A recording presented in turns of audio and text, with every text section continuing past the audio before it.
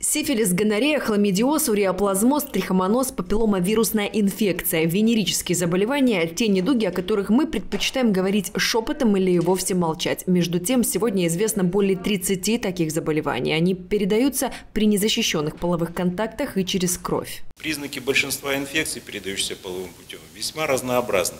Это дискомфорт при мочеиспускании – необычные выделения из мочеполовых органов и высыпания в этой области, боли внизу живота и поясницы, высыпание на коже, на теле, ладонях, подошвах, увеличение лимфатических узлов. Некоторые венерические заболевания могут протекать бессимптомно, но вот последствия дадут о себе знать в полной мере. Среди тяжелых осложнений у мужчин воспаление мочеполовой системы, простатит. У женщин, возможно, внематочная беременность, бесплодие, рак. Главное поставить вовремя диагноз – ВИЧ-инфекция, она тоже передается половым путем. Сегодня какое лечение? Всю жизнь надо лечиться и очень сложно лечиться. Гепатиты Б, С очень сложно.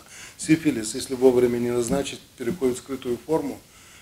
Там первый период, второй период, через 5-7 лет – скрытый перевод, а потом э, разрушение всех органов организма. Брестский областной кожвендиспансер. Здесь помогают выздороветь не только жителям Бреста и района, но и всей области. Благодаря новым технологиям, современным подходам и методам диагностики результат обследования можно получить уже на следующий день после сдачи анализов. В последнее время широкой популярностью э, пользуются методы, которые позволяют выявить не одного, а сразу несколько возбудителей инфекционных заболеваний.